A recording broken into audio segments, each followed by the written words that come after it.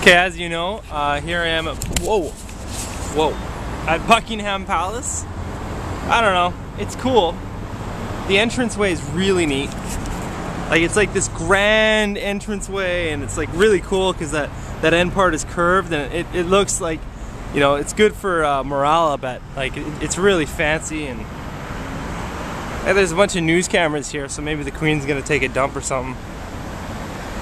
See all the camera crews. And the building actually isn't that, like it's nice, it's beautiful, but it's very old, traditional looking.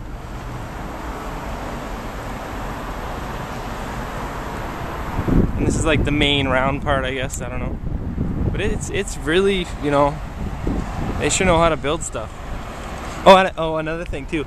All of the government vehicles are all Jags and Land Rovers. That's it, which makes sense, but it's kind of funny. All right, well, I guess there isn't really much else to show. Um, going back to the War Museum.